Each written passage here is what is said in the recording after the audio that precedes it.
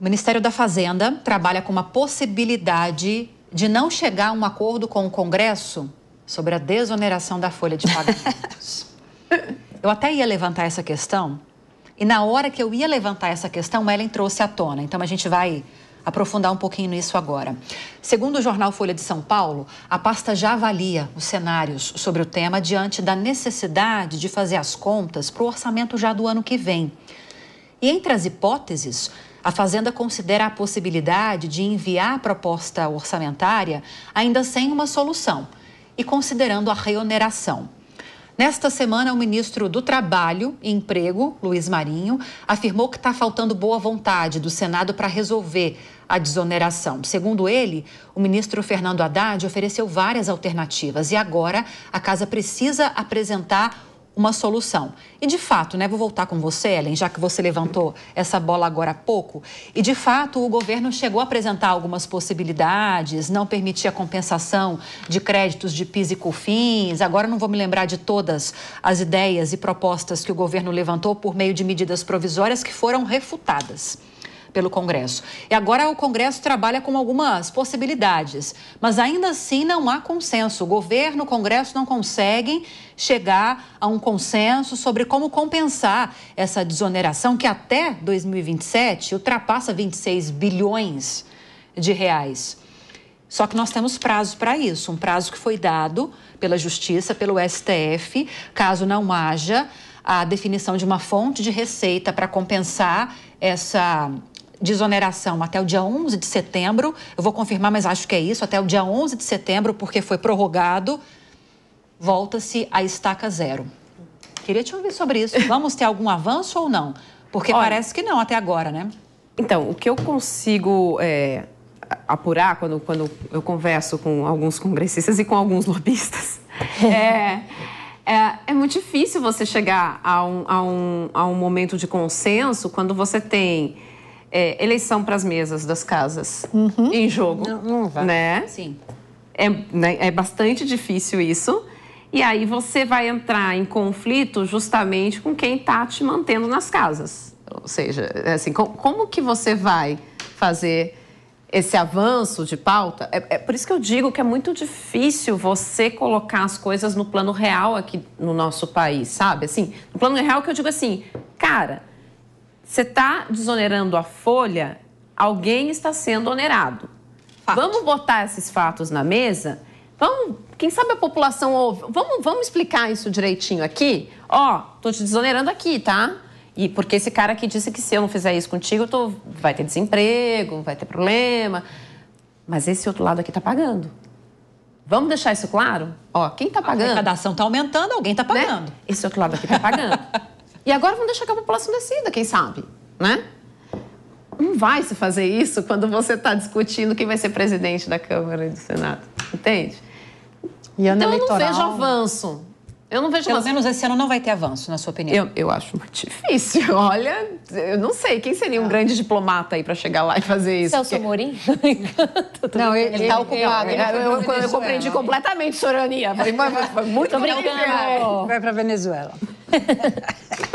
É, não, é de, a, a Ellen tem razão, é muito difícil. Assim, hum. é, um, é um ano que eles estão discutindo sucessão das mesas e é um ano de eleição municipal, né? Então, é tudo uma barganha. E a gente sempre conversa, assim, a, a, gente sempre fala, né? Se tem um momento em que um governo tem que tomar as decisões e fazer acontecer, é o primeiro ano de governo.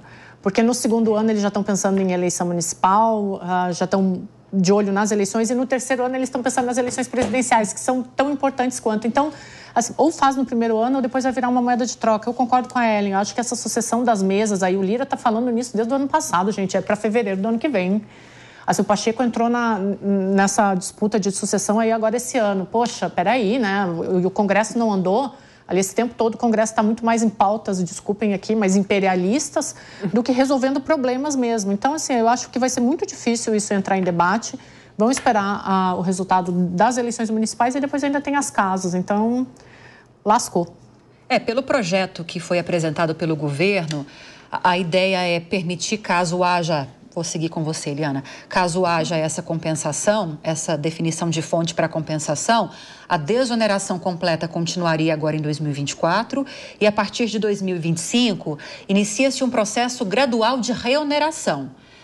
Dá a entender que o problema precisa ser resolvido agora, mas que após 2027 a situação parece que está resolvida após 2027, a partir de 2028, não tem mais essa história. Você tem essa sensação ou não? A gente vai continuar debatendo eu acho que a gente exoneração vai... nos próximos não, anos? Não, eu acho que a gente vai continuar debatendo pelos próximos 30 anos. Eu também ah, não estarei a aqui. foi 30 anos, não foi? Nossa, 30 é, anos a tributária. Eu acho que nós temos 30 anos. 30 anos. Já temos pauta para os próximos 30 anos. Será que estaremos aqui?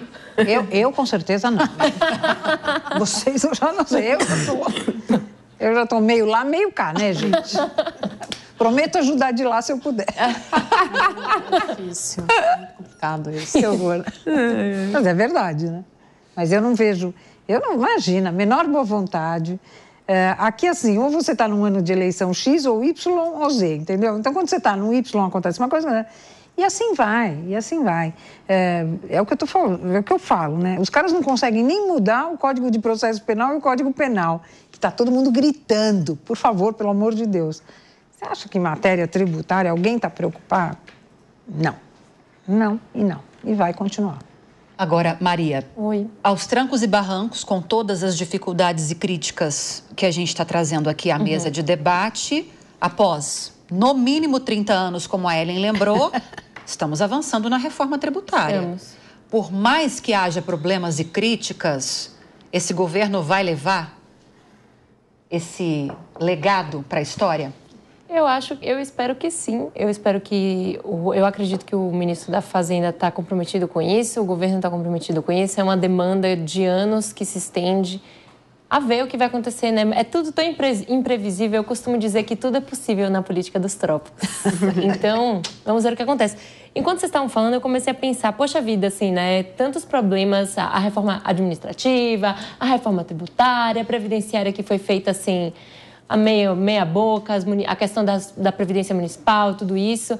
E os políticos somente preocupados em fazer alianças com as eleições, como eles vão sair nas urnas. Ou seja, gente, política é um negócio, virou um negócio. Política é uma carreira.